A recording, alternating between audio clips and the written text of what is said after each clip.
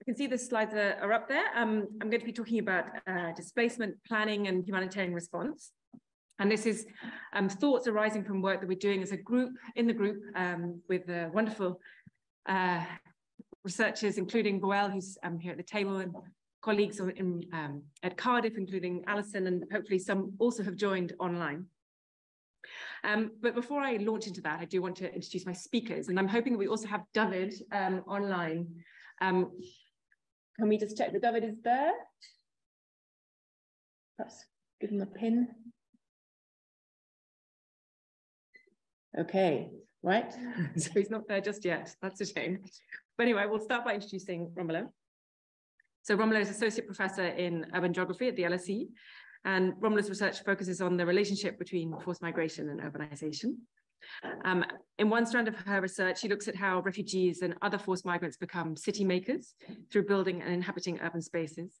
And the second strand of this work looks at the geopolitics of humanitarian knowledge production, particularly on urban refugees. Um, and this work looks at how humanitarian organizations come to learn from and intervene in urban areas. And she's currently on a British Academy Fellowship and has a podcast series called Displacement Urbanism that I hear is very good. So um, Dyfed has joined us online. Wonderful. Um, uh, you're not visible on this on our big screen, but I can see that um, you're here, and we will we'll pin you up on the screen later once we've um, been through our slides. So, Dyfed Aubrey is an interregional advisor at UN Habitat, and providing technical and policy advice on a broad range of urban issues, including forced displacement in cities. He previously headed up UN Habitat's regional office for Arab states, and prior to that, UN Habitat's country program in Iraq uh, where he led the UN's work on land, housing, and shelter. Uh, so um, I'm going to uh, move my slides, go to my slideshow. Is this all integrated? Am going to go through the, this? Great, thank you. So um, working on issues of displacement, so by that I mean refugees and internally displaced people, IDPs and other migrants, the intersection of um, of cities and uh, displacement is relatively new for IIED. Um, but this all this work started, uh, this engagement with the humanitarian issues um, began around 2015 with um, the Urban Crises Program that IIED led in collaboration with the International Rescue Committee with funding from then DFID, Department for International Development. And this work was documenting experiences of city stakeholders responding to crises.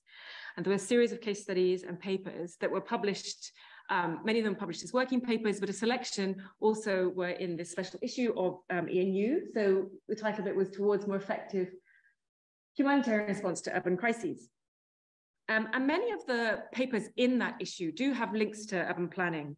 Um, so I hadn't realized I wouldn't be able to see my own slides while I was doing this. I'm going to have to do a slightly odd head turn. But um, for example, there's a really interesting paper, a series of papers came out uh, external to E&U, but also in E&U, thank you, um, about area-based approaches. So if you're in, if you're an urban development person, this is just the way you work. You take a neighborhood, a city, you think about it holistically, the different services available, the different populations.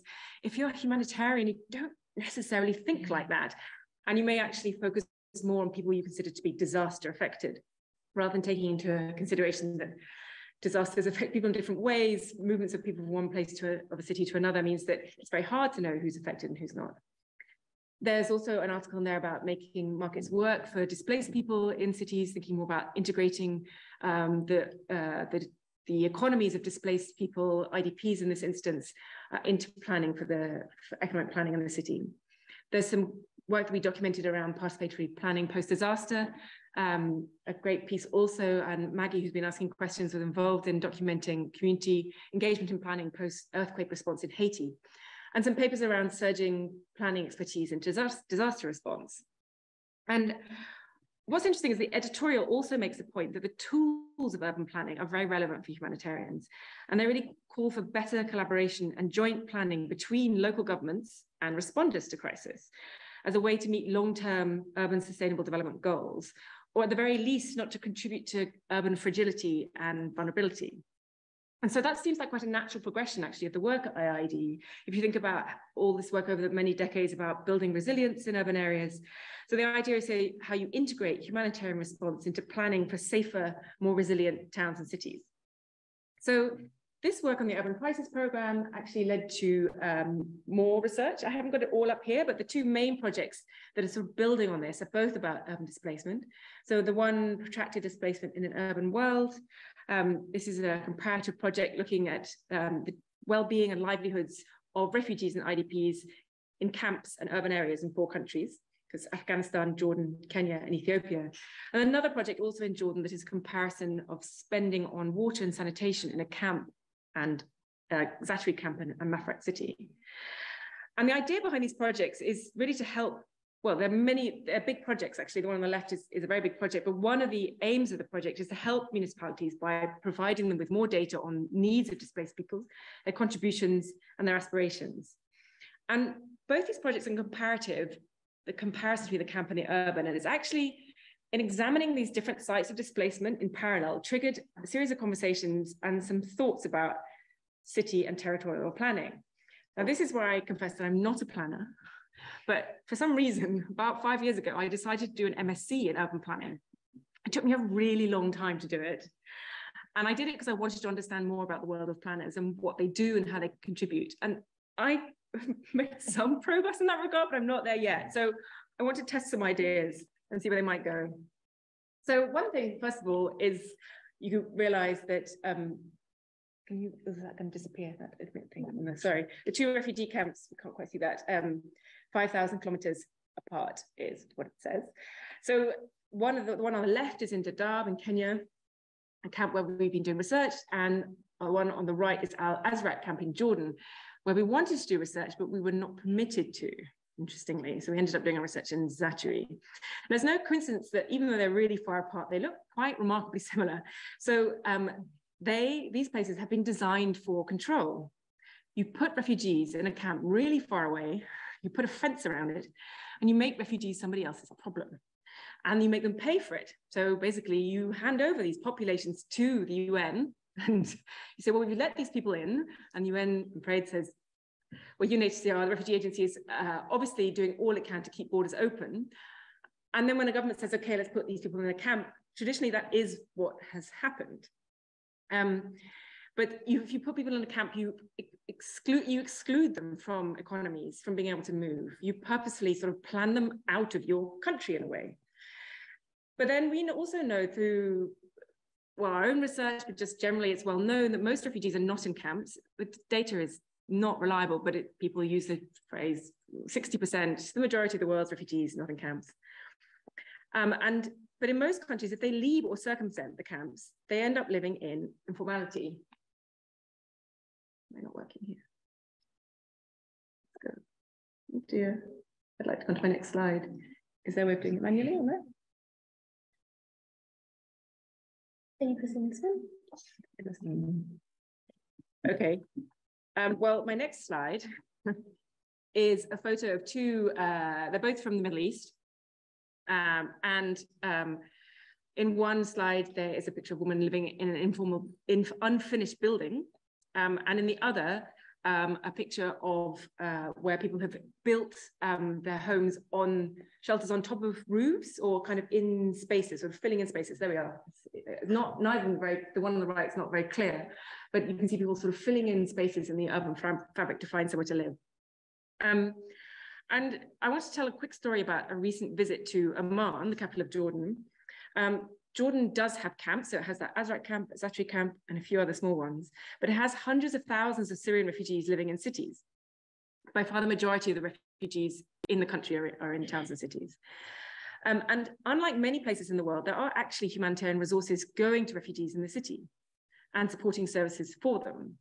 Um, but you're not seeing that sort of visibly in terms of the places where people are ending up living. And I wanted to explore what the, the Greater Amman municipality, the municipal authority, knew about where resources were going, humanitarian resources in the city, and who they were supporting, where they were going to.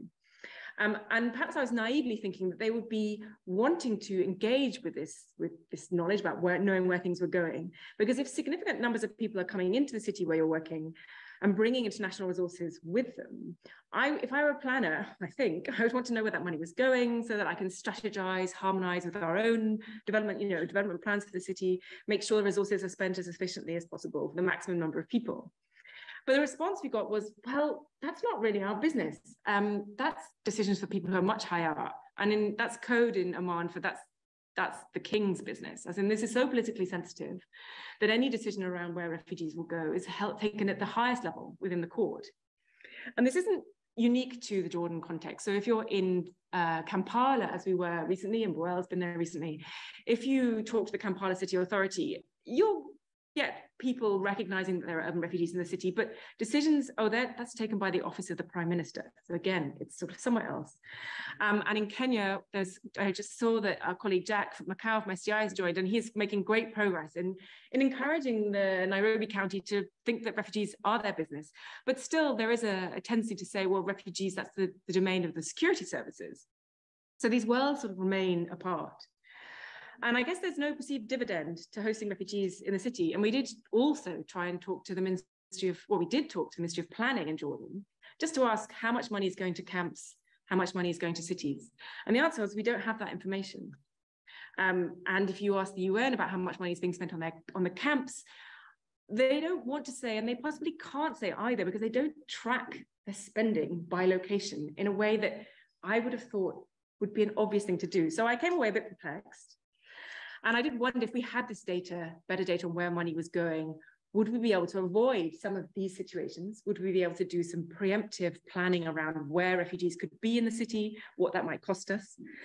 Um, and I wondered about what opportunities we're missing about the, in the way things are done currently. So I want to turn over to Romola now. You've heard me speak too much today, I feel.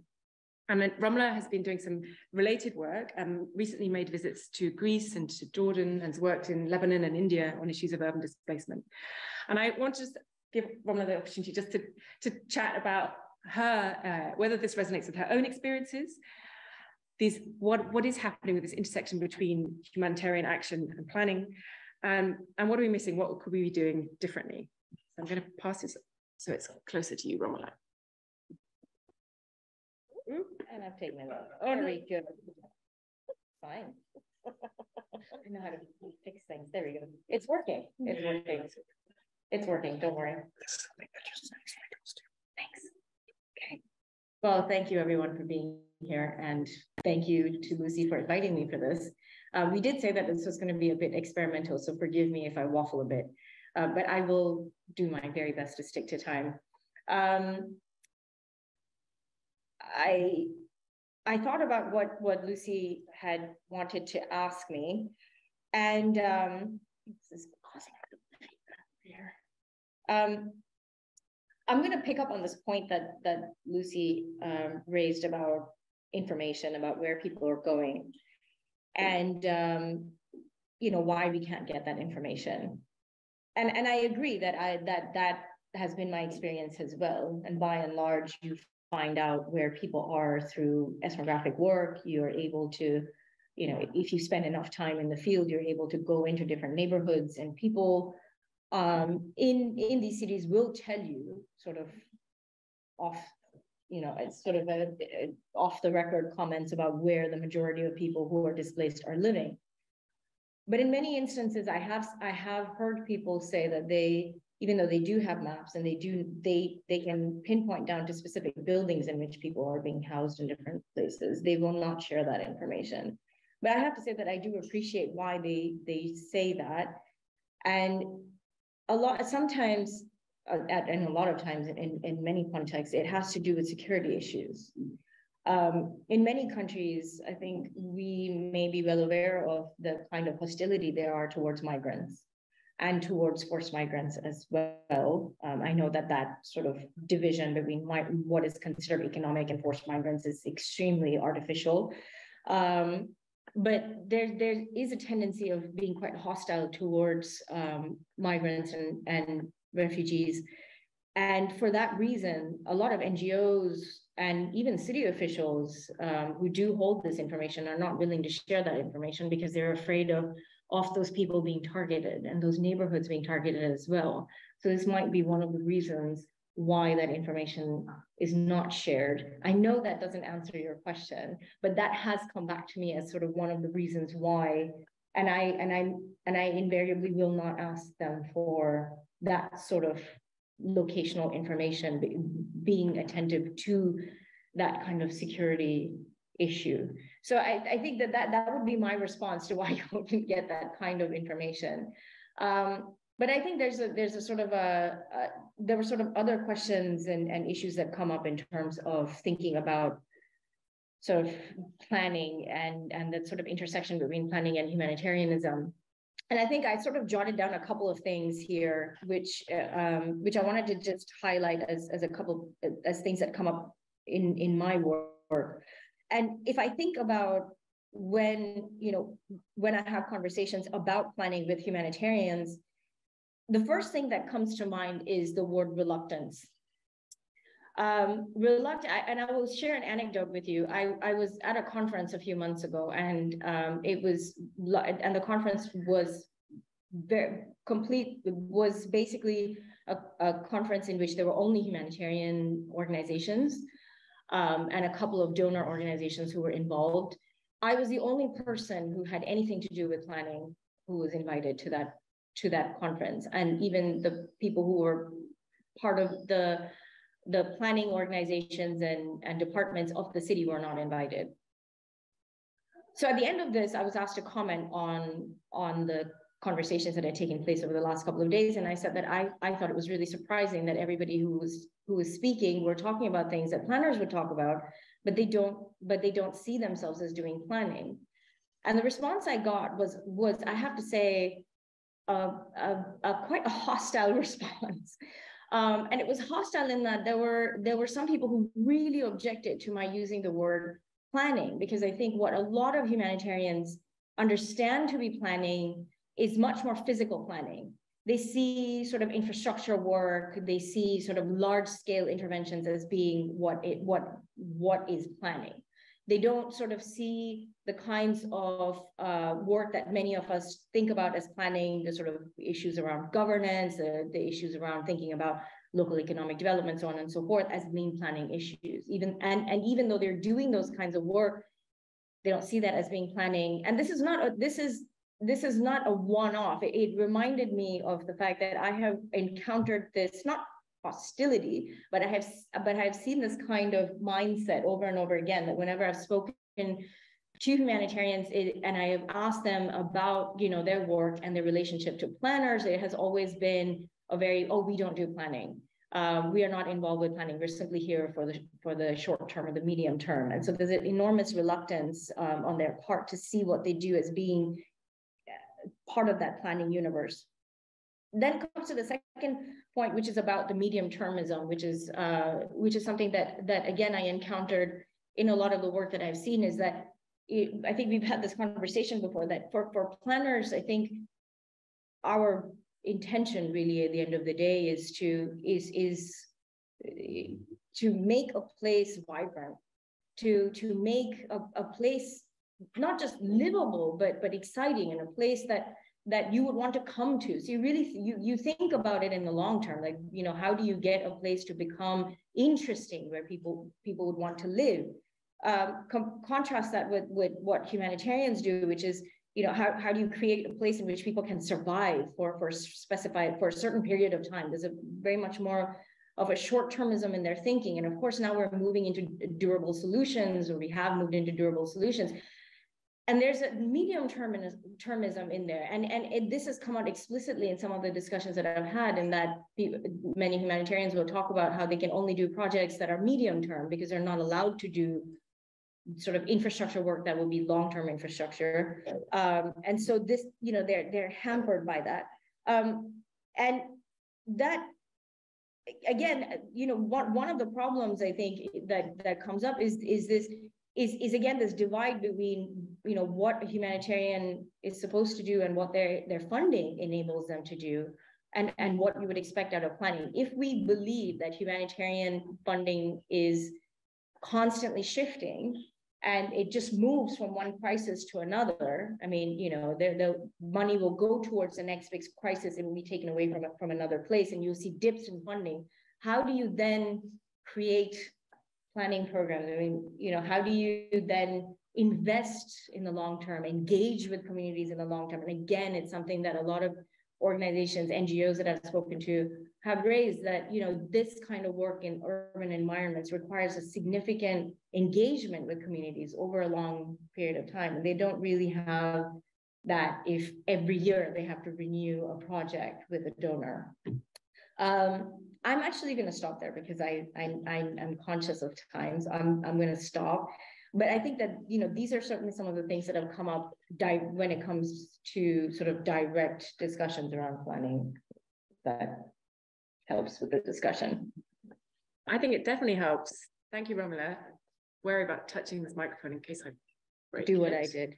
Um, and I want to I want to hand over now to Dyfed Aubrey, who's joined us online. So Dyfed is someone who was a is a built environment professional by background. I think he's an architect um, and has worked in urban design, but is now um, working uh, within the UN system and has some more positive, I think, examples of how, how we could use planning to um, create better, more vibrant, more livable places for people who are on the move. So, um, Dyfed, I'm going to hand over to you, and you've got a couple of slides. So just uh, let us know when you want us to put those up. The floor is yours. Okay. Th thanks very much. really sorry to gutted I can't be with you. Actually, I'm I'm flying to the UK tonight, like half a day too late. So I'm I'm sorry for that, but it's a real uh, you know I feel very honoured to join you and seeing a few familiar faces in the crowd. So that's great. Um, I, yeah. So I think urban. I, I think it's been fairly well established now that planning, urban planning, spatial planning, uh, either as a social process or as a physical process or a bit of both, it, is, it needs to be integral in, in the work of responding to uh, displacement. And I think displacement is becoming, sadly, much more of much more of a norm. And so displacement needs to be an important consideration in planning, uh, particularly in some places. And I, and I think uh, uh, Lucy and I um, worked with uh, JIPS on, on a, a paper for the um, for the Secretary General's panel on in, internal displacement, where we made a strong case for this. And now, now that there's been a, an appointed uh, advisor, special advisor to the Secretary General on displacement, we're seeing that uh, uh, he is very interested and really trying to bring uh, this work on urban planning much stronger into displacement crisis. So I, I, think this it is moving, and and I appreciate what you know that that planning takes many different forms, and and I think as a social process we've seen that has really been important in, for instance, in Lebanon, integrating urban refugees with host communities around public spaces and things like this. So so they've been quite important processes of of integration. But I want to talk a little bit about um, uh, territorial planning. Well, is is not new that uh, you know the competition for uh, natural resources uh, often leads uh, results in conflict, and with climate change, we're seeing th this kind of becoming bigger, and and there are a lot of places now where uh, we're we're seeing we're going from the idea of protracted crisis almost to perpetual crisis as as droughts and conflict coexist and people seem to be endlessly on the move. Mm. And um, when you see Somalia, for example, there, the, the, I've been working a bit in Baidoa, and we see that that city has has absolutely uh, expanded, uh, you know, tripled in size in in the last ten or fifteen years. And people move to where they feel safe. They move to where they feel that they could have opportunities in life. They feel they move to where there's some basic assets such as health and education and different things, uh, but particularly security. And they move to where there's humanitarian support. So naturally, all over Southwest State in Somalia, people have been moving to Baidoa, and the, the city is now grown at a, I would say, an uncontrollable rate and um, and it's not sustainable. Uh, you know, when you you have people are digging holes for for water naturally, and the water table is reduced so rapidly and and uh, so deeply that there'll be a time where that city cannot sustain itself anymore. Um, and so um, we also find that because people tend to move to the larger cities in, in a lot of these situations, that it's very difficult for them to return, especially if they're coming from a rural economy. And you know, what about if we would? What about if we would try to understand displacement as as a norm, as a something that we have to deal with? Uh, why don't we start understanding displacement not as a as, as a crisis that we need to respond to, but a, an important factor of planning, uh, particularly in, in those countries that seem to be in perpetual crisis. Mm-hmm. And um, what about if people could move to places, smaller cities, closer to their rural homes? What about if those places had those basic factors of education, health, maybe water, safety, security, humanitarian support? Um, and, and this might be quite interesting because over time you might find that even the sort of family economy might be more diverse. Uh, you know you might be a pastoralist your daughter might be a teacher in the school. And so you're not affected in the same way as a result of crisis and you might have places you, you might be able to respond better uh, to a crisis and still be able to keep a hand on your rural economy and return to it. So the idea of proximity is is quite important. So if you just put up the slide what we've started to do in, in Sahel, for instance, and even this morning we were talking to, I was talking to IOM about Baidoa. In fact, I was asked, I was actually, I think there might be something coming up for the for the three of us there. Um, but um, we, we started to map all the human settlements across across the uh, you know across seven or eight countries, and we've started to look at um, overlaying that with uh, the typical movements of people as a result of conflict and as, as, a result of drought. And if you go to the next slide, we've started to map the assets of those, uh, uh, those human settlements. So on the top axis horizontally, you've got all the stuff, all the public assets, you know, whether there's water, electricity, schools, hospitals, secondary schools, and the rest of it. The, the things, uh, economic opportunities and the rest. And on the vertical axis, starting from large cities to small cities, we've started to, to, to map. Um, and so with that, we're able to start mapping uh, what assets exist where. And then if we go back to the previous slide, if we can identify then uh, where people are likely to move to, and where, if you go back to the previous slide, with, with Sorry, when you understand, yeah, when you when you start understanding the distribution of assets, you might understand where people are moving to now and why some of the larger cities are growing very, very fast and why some of the smaller cities are not even moving. Um, and then you can start looking at, um, you know, would there be more logical places for people to move to closer to their place of origin, which would still be safe, which could still have the basic infrastructure that could have um, a, a security, etc. And should we be sort of targeting investment into those areas in order to provide greater options for people on the move. And also to take the pressure off the cities that are growing so fast that they're growing informally and through a sprawl. This, I think, requires a sort of a proactive approach and it requires development actors to work with humanitarians because it's key that people are still moving to cities because they get support there. Um, but also to, to work with uh, security and uh, you, you, know peacekeeping and and at scale as well. So i'm just putting that out there but I, I do think then this approach displacement then could become a positive force for urbanization in that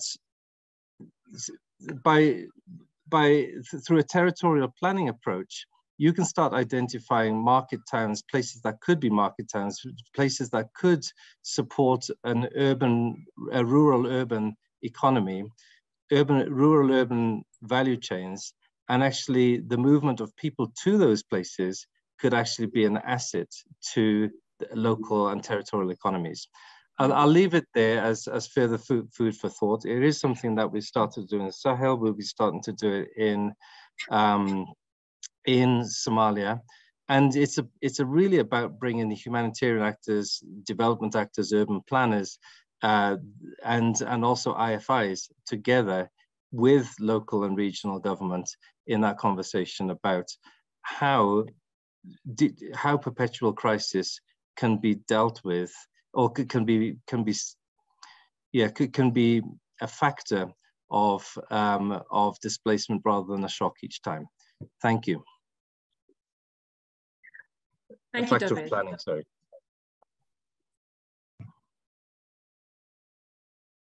And thank you to Romola as well.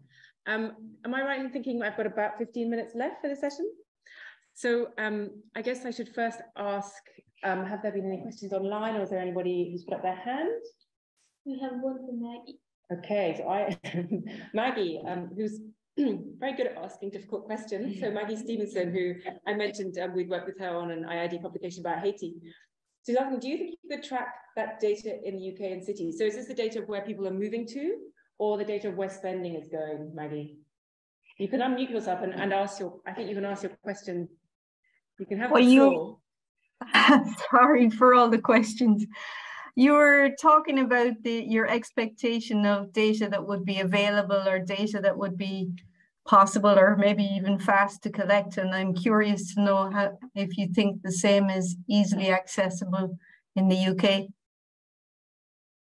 Or, or you fa- would face similar challenges? I don't work in the UK context, but from the, I don't work in the UK context, but I, No, it, it was Lu, it was Lucy's point about Ah, data. I know, but I'm asking Romola to Lucy, answer. Lucy is, is making me answer for her.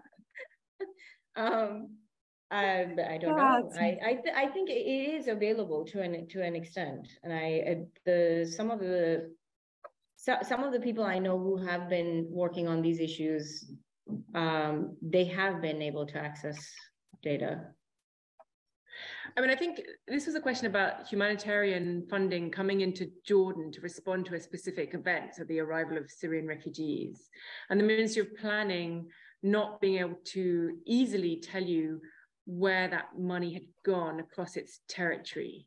So not even at the level of different governorates, let alone between just generally between the camps, which are sort of, you know, they're finite places. There are fences around them. You would think they would I just assumed that they would they would know where that money was going and they'd be interested in knowing where it was going. But maybe this is me being naive. Maggie. Um, Alison has her hand up. Alison, can you do what you did before? Because apparently sound sound worked very well, apparently, for people online.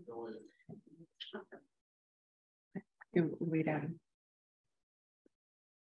Um, thank you. I wanted just to thank the presenters for some great, uh, great thoughts. And I wanted, if I could, to connect David and Rona from David's territorial presentation, which, which I think is fantastic. And I haven't seen before, for some of the groundwork that Romola's doing. And ask, what about public space? One of the things that, that I think about those photographs you showed us, Lucy, is that there's no public space, there's no centre around the mosque, there might be a football pitch if you're lucky.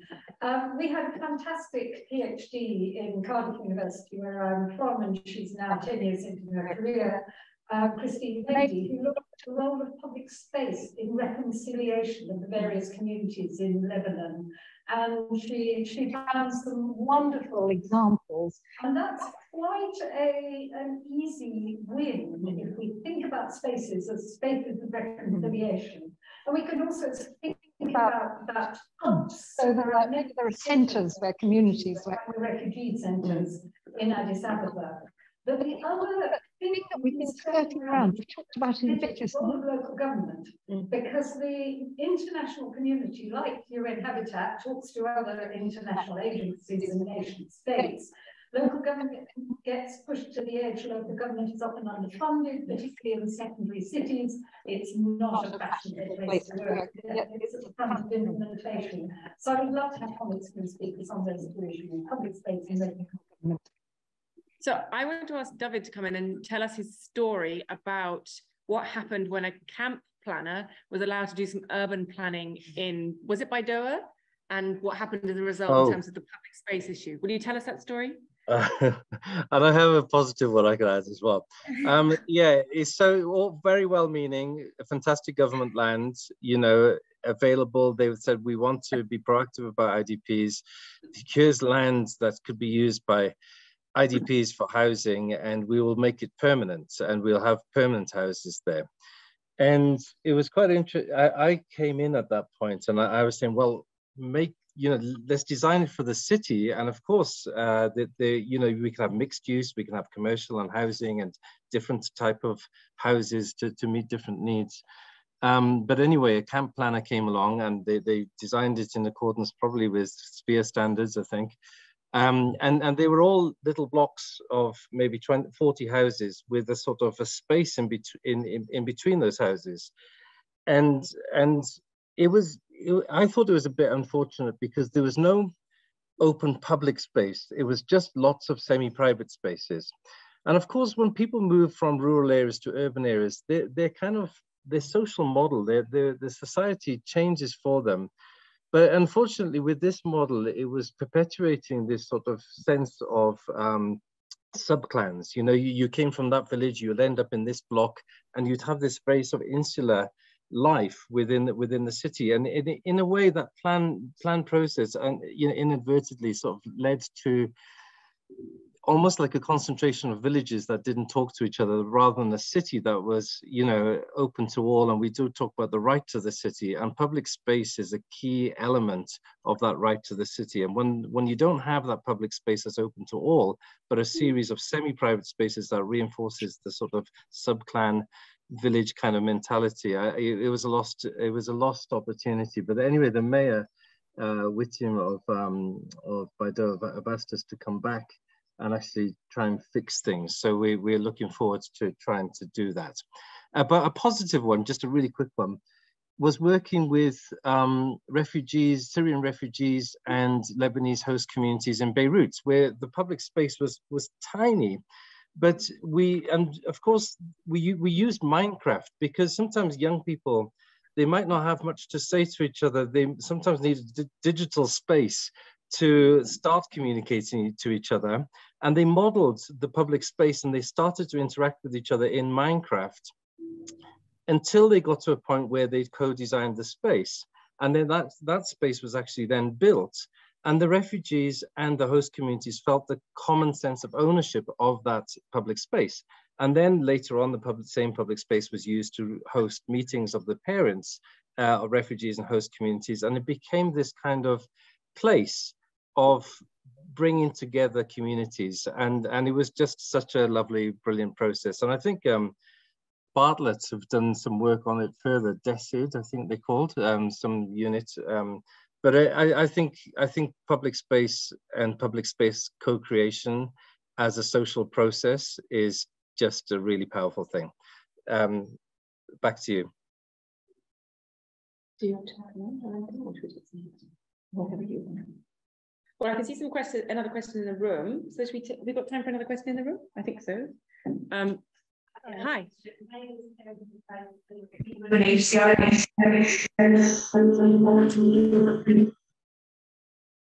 And I had a question for you about about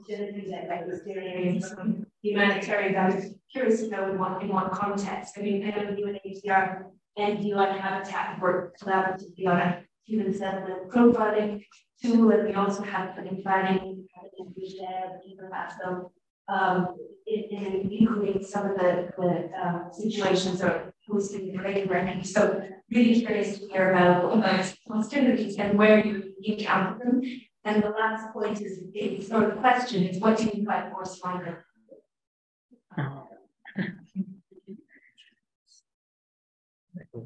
Can you sort of repeat the question, Martin? Okay. Okay, so I was asked about the hostility question.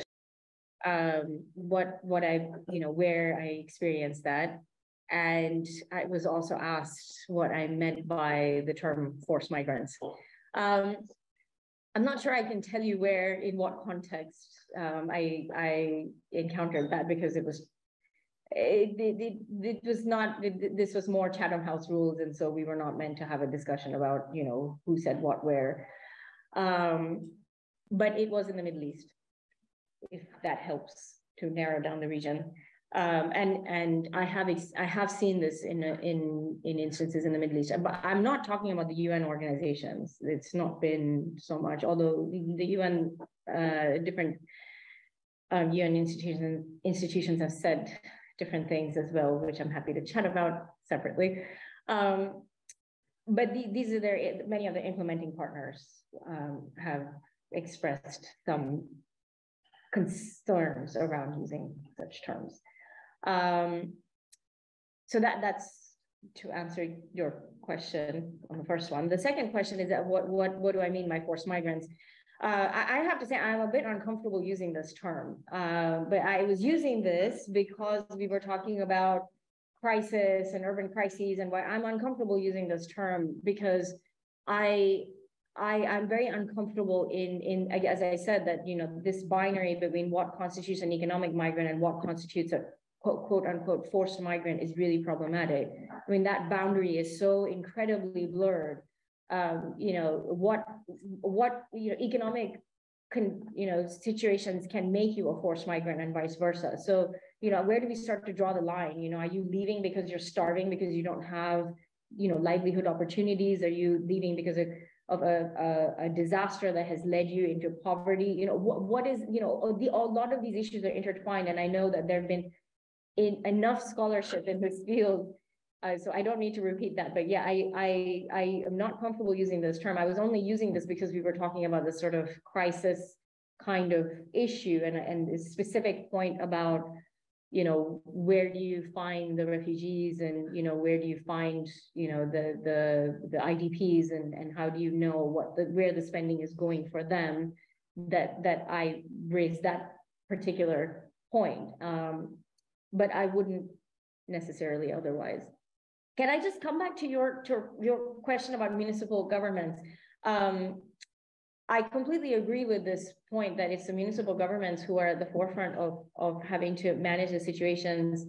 And that has really been the thrust of the, the work that I've been trying to do is, is to work with municipal governments to try and understand what they're doing and, and what their involvement in is. And of course, everything is very context specific. So um, in some places, like in Greece, the, the municipal governments are, are much more involved in, in some in, in the management of, or were more involved in the management of the, the asylum issue um, in Greece until, of course, last year when they started shutting down all the programs. And now if you're an asylum seeker in Greece, you simply go to a camp.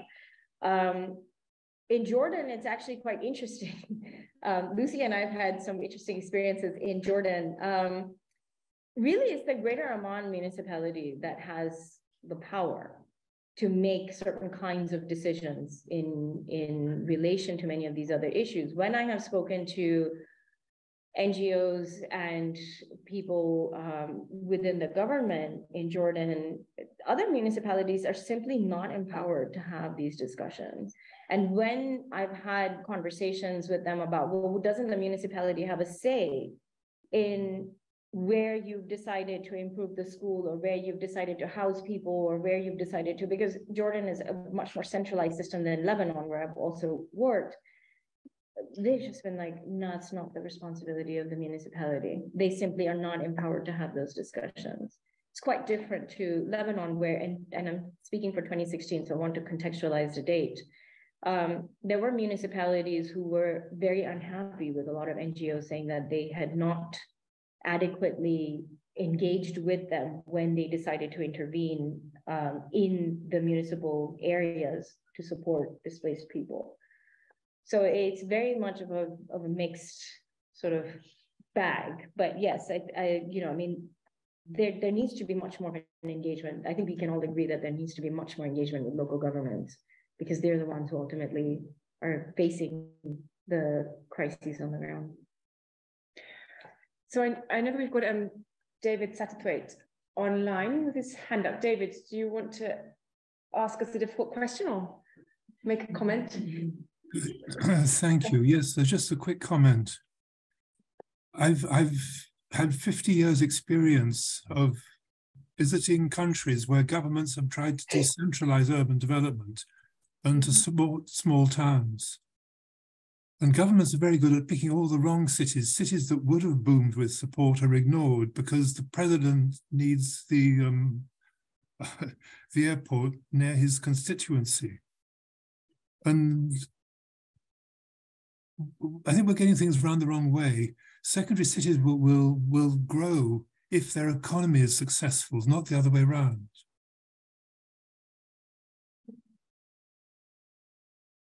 So as a question is sort of finding the sweet spot, the cities that could grow and could be successful places of enterprise and could provide decent homes for people on the move, I guess. Yes, but yes, but, also um, most of the world's fastest growing cities are small cities too. We, we, we underestimate that.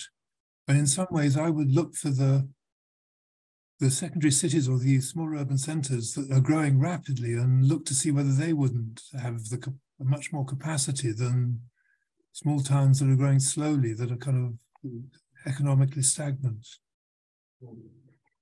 Good point. Um, am I allowed to take one more in the room?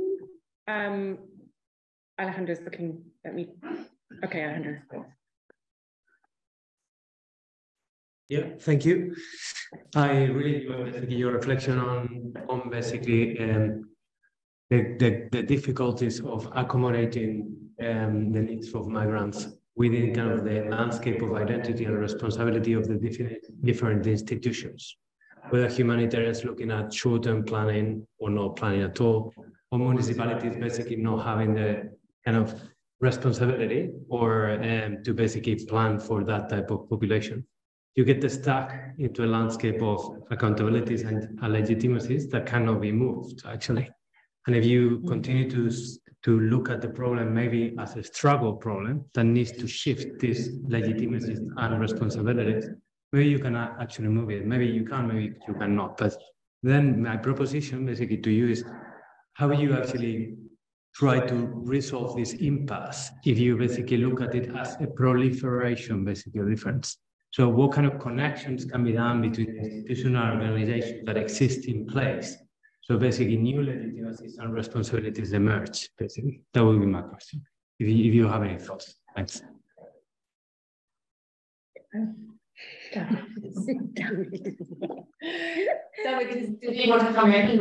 Yeah, I, would love to respond to Professor Satterthwaite. Um, no, I, I think this. Um, Okay, he's not there. Shall I, oh, no, they can't hear us. Shall I respond to Dr. uh, to Professor Satterthwaite? Hello? Apologies, yes. um, David, go ahead. Can you hear? Okay, sure. No, I, I'm completely with you. I, I, I think there's a huge need, and, and just from an urban perspective, when we're expecting 2.5 billion more people to move to cities in the next 30 years, it has to be small cities, it has to be secondary cities. And that is an opportunity because that also helps to balance economic growth across the across the countries, across territories. And um, it, it's so important that attention is spent, is paid onto secondary cities. Now, when it comes to displacement crisis, people are looking for a place that's safe, that may offer economic, economic opportunities, that there are public services and public assets, and that there's humanitarian support. And I think it's it's possible with the humanitarian crisis to try and help push sustainable urban territorial development in the right in the right way by bringing humanitarian support to secondary cities. And I think all too often humanitarians, uh, you know, it takes an effort to set up your base and you need to have all these security provisions and stuff like this. So it makes sense to, for the humanitarians to congregate in the larger cities. But supposing there was another way where we could say put humanitarian support in, decentralize it into into smaller cities and more of them, uh, that might also help to steer population growth in a way that could be conducive to supporting the growth and the, the vibrancy of, of secondary cities. And I'd al almost say the same when it comes to uh, kind of security. Why not? You, you know, we the, the peacekeepers are trying to reinforce certain cities and others that they're leaving behind. And we have to look at this nexus of, of uh, security, economic opportunities, public services, and humanitarian support to make cities able to, uh, to, to, to work uh, better for a situation of perpetual crisis. And then that takes different planning dimensions from territorial planning to look at the urban rural linkages and to understand where a city might fit or a human settlement fits within a landscape of, of um, urban rural economies. And this is my sort of concern with Kakuma and Kalobeyei. It's, it's far too big. They've decided to make this camp into a city. And when the low, when the territorial economy is is based is in a semi-arid area is based on sort of market towns, uh, the, the size of that city will not sustain itself and uh, it needs to it needs to be reduced. Otherwise, it will always require humanitarian support. Anyway, I can go on for too long, so let me give the floor back quickly. But thanks so much for the question, Professor.